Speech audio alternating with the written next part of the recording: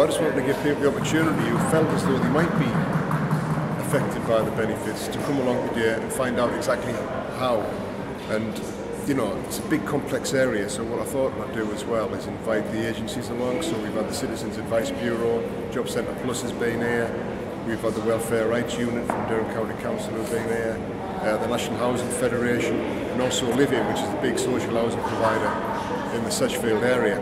And they've all been able to get give advice. Some of the advice I don't think, you know, people want to hear, but it's just the way the government's drawn up the new legislation and we're just going to make sure that we can help as many people as we possibly can.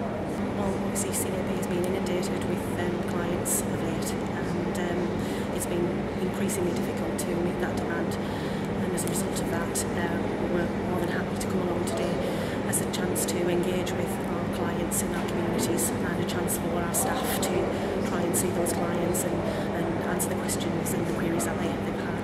But what we're finding is that I've come across today, the big issue was the bedroom tax, which is the under occupancy, occupancy rules, which says that if you're a couple and you live in a two bedroom bungalow, for example, for, provided by Livin, um, and your housing benefit, your housing benefit is going to be cut by 14% because you're deemed to only use one bedroom.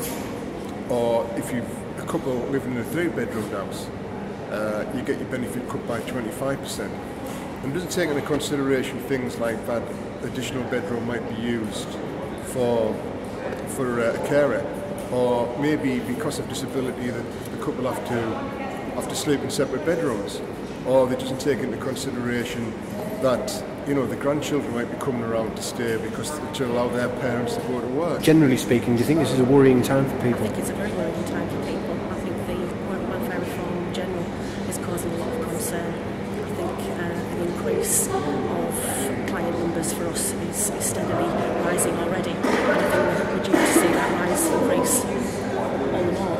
Um, we've seen an increase in the number of clients trying to get through to us on the telephone, um, 100% in the Um, and I think that's just the start. We've also seen of late a, number of clients who have sought help with just the basic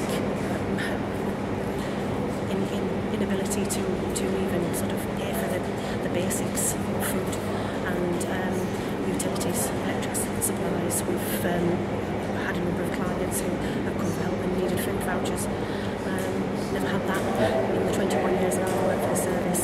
So we know that the public out there, the poverty levels are, are increasing. So this is, is something that the CAB service in general really needs to engage with because we need to take every opportunity to get out into our communities and, uh, and try and see as many clients as we possibly can. What you've got to take into consideration, a lot of the people who are affected by this have lived in these houses for 20 or 30 years. It's not a house, it is also a home. And the answer to all of this is not to penalise people because they may have be deemed to have one too many bedrooms. To build more houses. And there's a shortage of one bedroom one bedroom uh, properties in the area under Livin. For example, there's 1,600 people, 1,600 households affected by the bedroom tax, but there's only 204 one bedroom properties. So there's a massive mismatch in properties there, and I don't know how they're going to resolve the issue. And a lot of people are going to be affected by this, and I think it's a really spiteful bit of legislation actually.